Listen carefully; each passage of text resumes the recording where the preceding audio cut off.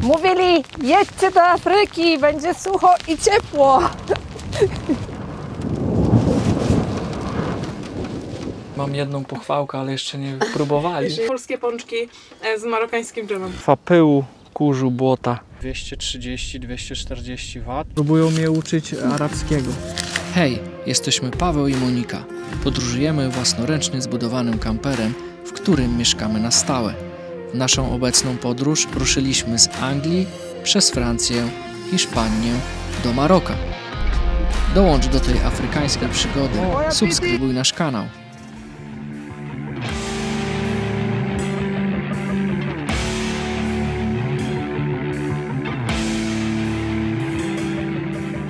Cześć, witam Was bardzo serdecznie w kolejnym vlogu.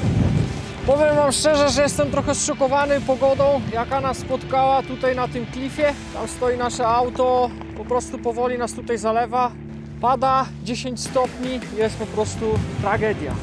Widok cudowny, no ale niestety nie możemy się nim na razie napawać, trzeba czekać na słońce. Jeszcze parę godzin temu staliśmy tutaj, ale woda tutaj zaczęła się zbierać, coraz bardziej się tu robi grząsko i mokro. No i podjechałem tutaj wyżej trochę, tu jest więcej skał, więcej kamieni, ale naprawdę jestem w szoku jak pada. Cały dzień po prostu dzisiaj jest tak zimno, nie mogę w to uwierzyć. A najlepsze muszę wam coś pokazać. Zobaczcie ten dziwny kolor brązowy, to jest deszczówka spływająca tutaj z tych okolicznych gór. Pięknie to wygląda, ale chyba wolałbym turku z wody i piękne słońce tutaj.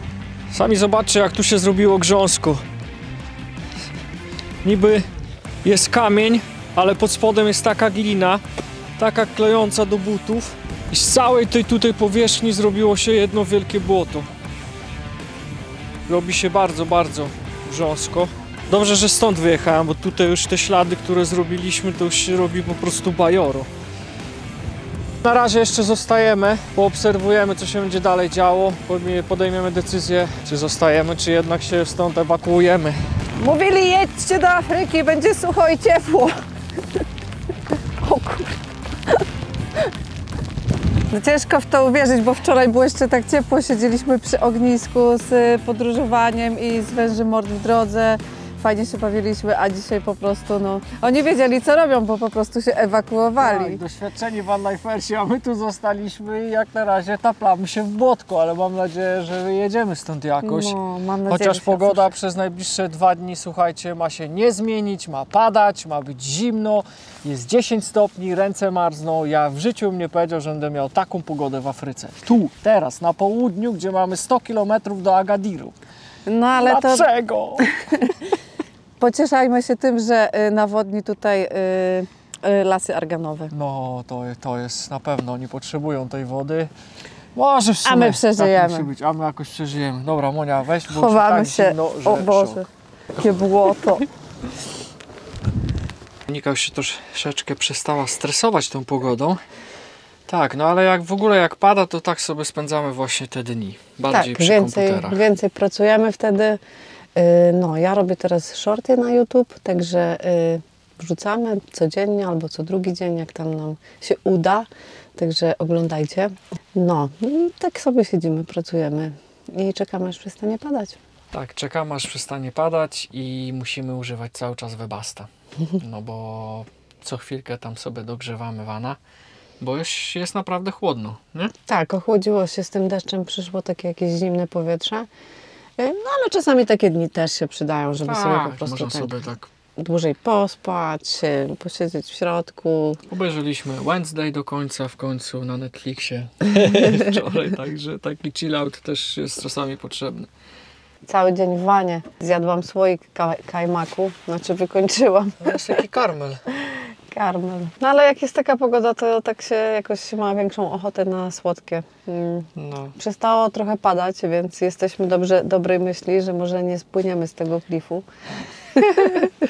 Nie, no będzie chyba okej, ale No. Sprawdź, co na dworzu. można sobie suszyć tutaj na haczykach, na których zazwyczaj wiszą ręczniki.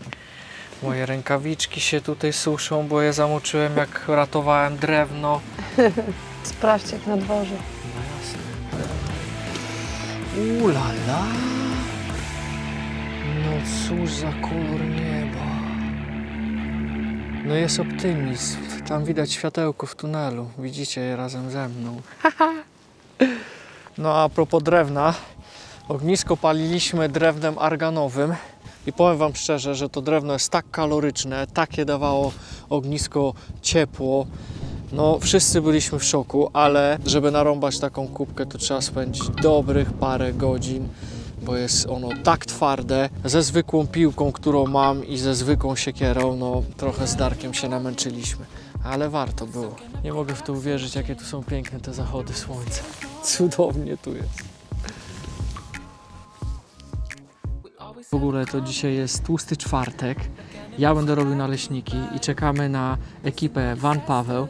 Mają przywieźć pączki. Dorwali pączki, słuchajcie, w Medynie, w Esałejrze dorwali pączki. Aż nie mogę w to uwierzyć. Czekamy na nich z utęsknieniem. Tak, ja już nie mogę się doczekać. No, ja się zaraz biorę za naleśniki. Jadą!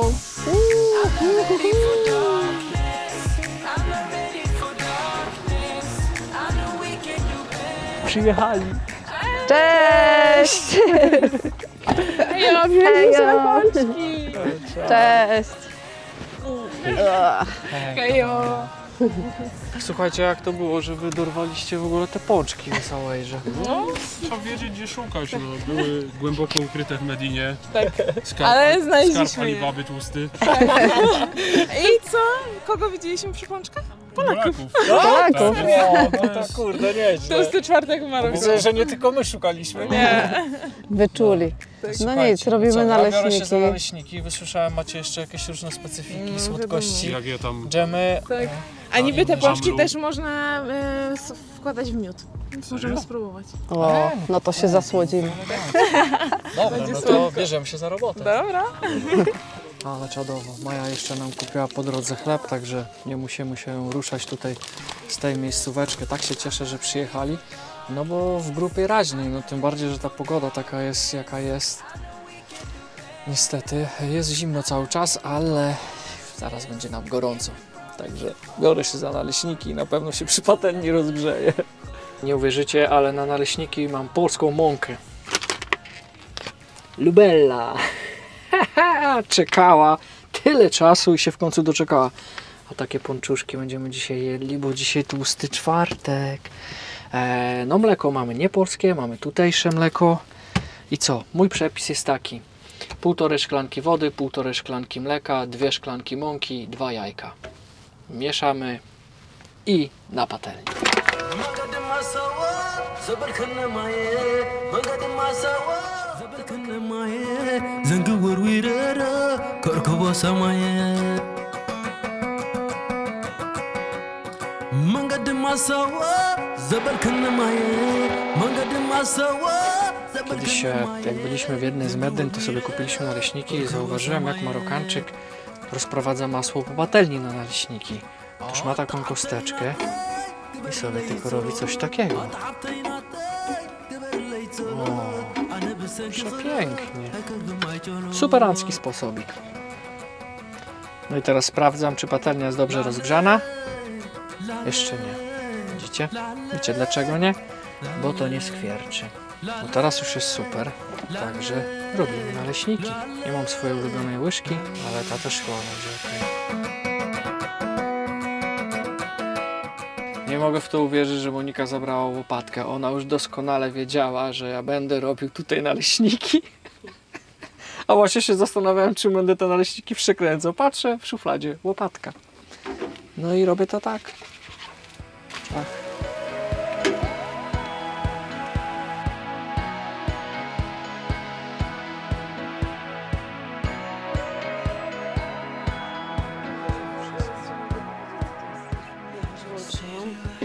Ale w ogóle te naleśniki wyglądają jak od mojej No, babci. ja też chciałem mówić, że takie Naprawdę? No dziękuję. Mam nadzieję, że tak samo one smakowały. polisz naleśnik.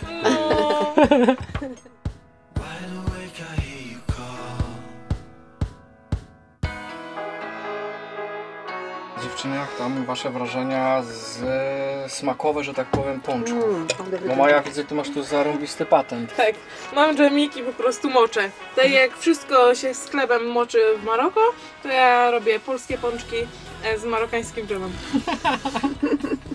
Ty Monia z miodem widzę. Nie, to jest też dżem cytrynowy. Pączki nie mają nadzienia, no to sobie robimy sami nadzienie. Można pomoczyć. Wszystko można, prawda? Michał, już próbowałeś? Jeszcze nie, ja jeszcze naleśniki twoje Paweł naprawdę zasługują na więcej uwagi niż na jakieś pączki. No dziękuję. Mimo tłustego czwartku. Ale starałem się je zrobić tak na tłuściowe. No, Sama już babcinę. A co wam najwięcej sprawia problemów tutaj w Maroku?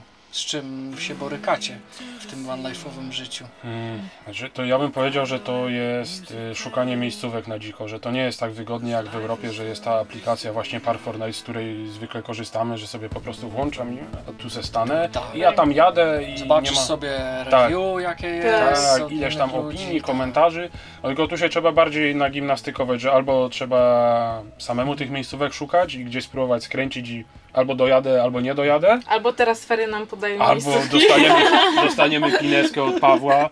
i z tych zawsze korzystamy.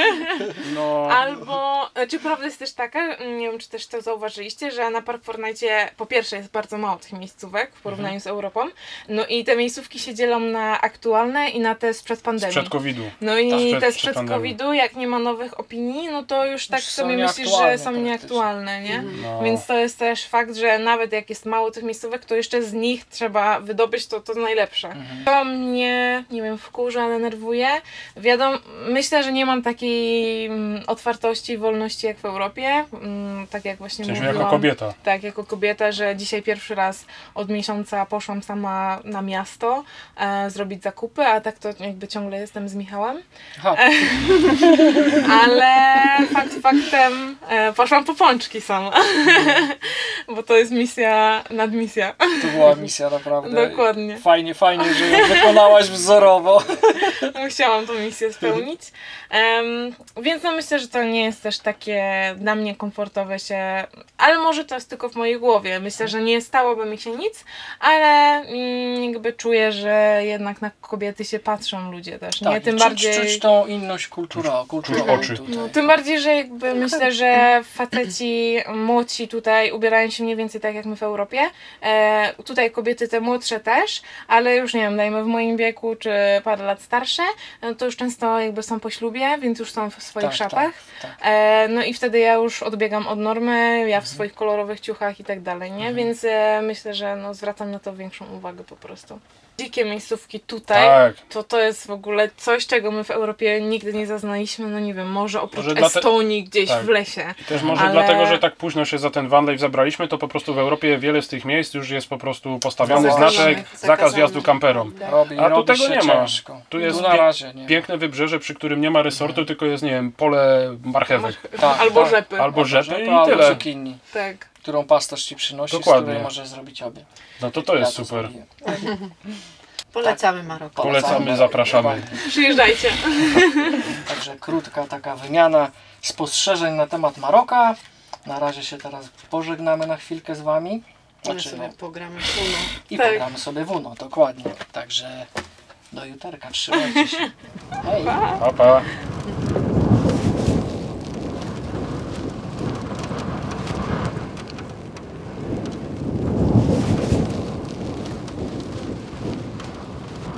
Po tym fajnie spędzonym wieczorze z e, Michałem i z Mają, e, no mieliśmy trochę taką ciężką noc, e, ponieważ zaskoczyła nas burza w środku nocy. Błyskało się tutaj w okolicy niesamowicie, grzmiało, padał bardzo mocny deszcz. Tutaj jak widzicie za mną to wszystko zamieniło się troszeczkę w takie bajorko, także dobrze, że stąd odjechałem. Cały van, mimo tego, że jest niedawno umyty, pokryty jest takim pyłem, który się sypie. Także chyba mieliśmy wczoraj taką burzę pustynną, można powiedzieć. Teraz idziemy właśnie sobie poćwiczyć trochę, porobimy jogę.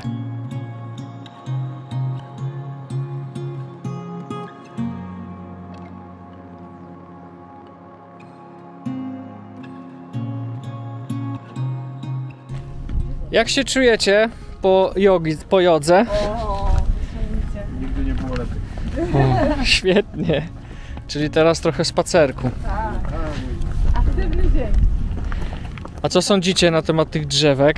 Fajny tu robią klimacik, nie? robi klimat. Które trochę jak takie banzaje wyglądają, nie? No. Tak, powykręcane, no. W końcu jak w Afryce, dokładnie. Właśnie to chciałem powiedzieć. Ciężko się tylko idzie do No kamlo kamienia. Ale krajobraz się zmieni. Ale, ale po Ashawejrze naprawdę momentalnie. Parę kilometrów i w ogóle wkroczyliśmy w inny teren. Tak. Kolor ziemi i taki bardziej surowy się zrobił, kamienisty, nie? No, Pamiętacie, wam mówiłem o drzewach arganowych, i- jaki miałem problem w ogóle z pocięciem, z rozłupaniem ich. No i trochę zgłębiłem temat i okazało się, że z drzew arganowych produkuje się wysokiej jakości węgiel drzewny. No i drzewo jest bardzo kaloryczne, że nie tylko olej arganowy się z nich robi, ale również materiał do palenia. Wspominałem Wam również dzisiaj o burzy, którą mieliśmy. No i w wiadomościach troszeczkę przeczytaliśmy, że sytuacja jest nieciekawa w Maroku, tutaj właśnie na wybrzeżu. Spadło bardzo dużo deszczu. E, Drogi niektóre są nieprzejezdne. No i z gór przejazd na Saharę jest w ogóle niemożliwy, bo spadło tyle śniegu, że drogi są całkowicie pozamykane.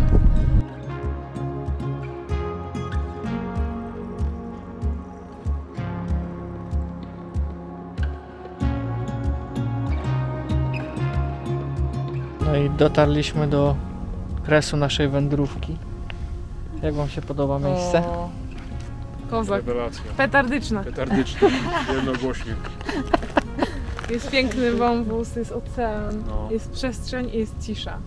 Paweł jak na rower pójdzie, to zawsze coś znajdzie. Nie, udało mi się. No nie było razem. tak krótko, jak Paweł obiecywał. No ja wiem, myślałem, no wiecie, inna perspektywa na rowerze, a inna na, na piechotkę jak się idzie. Ale warto było, nie? No, Tak Teraz jest. jeszcze tylko wrócić do wana i... Ja zaraz wyciągam ciasteczka, to się posilimy. Jezu, ale czad. Mi się ręce trzęsą, brak mi cukru. Marokańskie? Mmm, jakie ładne. A co to jest? Mm, To jest chyba takie akurat tak maślane. maślane i... Ale tutaj mamy takie trochę le- lepsze Raffaello i jeszcze takie jedno z daktylami, więc musisz próbować.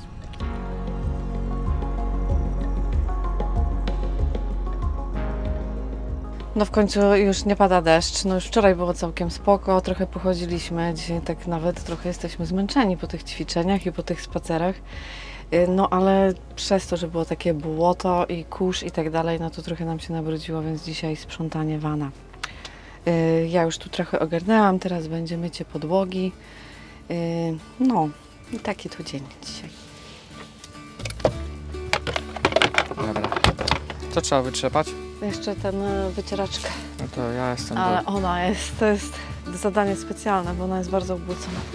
Czyli co? Do brudnej roboty? Paweł.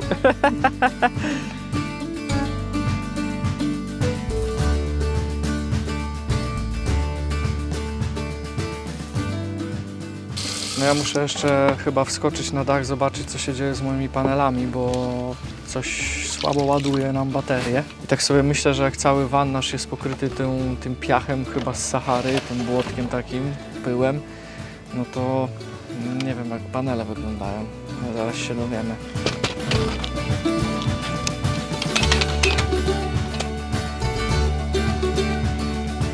Sami zobaczcie co tu się dzieje. Po prostu warstwa pyłu, kurzu, błota. Cały dach taki mamy. Po burzy. Słuchajcie, takie błoto. No Woda po prostu. Nie wiem. No jak widzicie różnica jest kolosalna. Po prostu zostało tylko tam trochę błota na dachu. Ale tego już nie myję. Umyłem tutaj jeszcze nasz wentylator, żeby było więcej światła w środku. Różnica też nie jest tylko w myciu tych paneli, że one są czystsze, tylko również w ich wydajności. Przed umyciem miałem 130 W i 6-8 amper produkowały te panele prądu, a po umyciu 230-240 W produkują 16-18 amper i trzeba dbać o panele. Teraz chodzi lodówka, także no te 3 amper zabiera, ale jest duża różnica.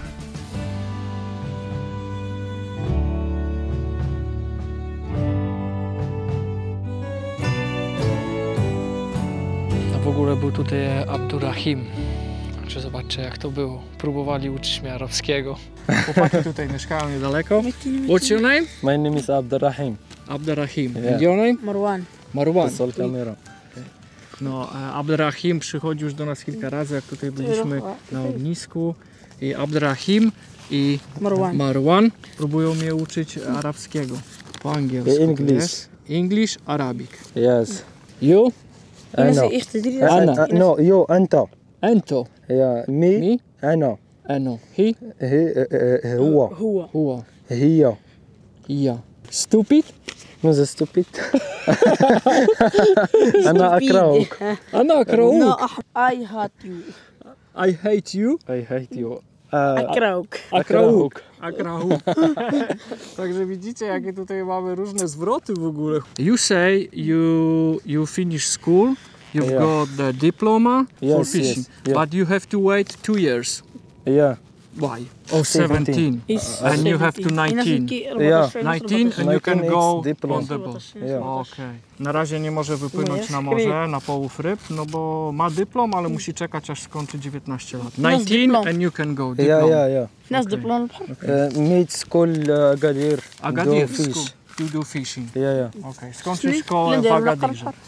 Lakar. No tak się tutaj zapoznajemy właśnie. You like people coming, tourists, yes yes van people? yeah You like them, yeah? It's, uh, speak English Spanish France Oh, Little as bit. Spanish people coming? uh, a little bit uh, poquito Po, po, po, un poco. poquito poquito Poquito. little bit Mhm.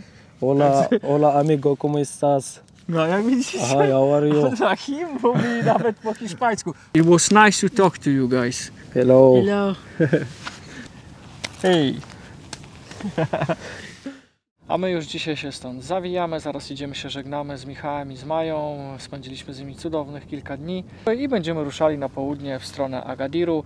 A gdzie wylądujemy, to jeszcze nie wiemy, mamy różne plany, ale to już wszystko zobaczycie w następnym odcinku, gdzie nas koła poniosą. Także dajcie łapkę w górę, zostawcie jakiś komentarz. Nowych widzów zapraszamy do subskrybowania naszego kanału. Dziękujemy za wszystkie pozdrowienia, za wszystkie komentarze, życzenia dla Moniki, zdrowia, po prostu No, jesteście niesamowici. Super. E, Także do zobaczonka w następnym odcinku. Trzymajcie się. Hejka! Hej.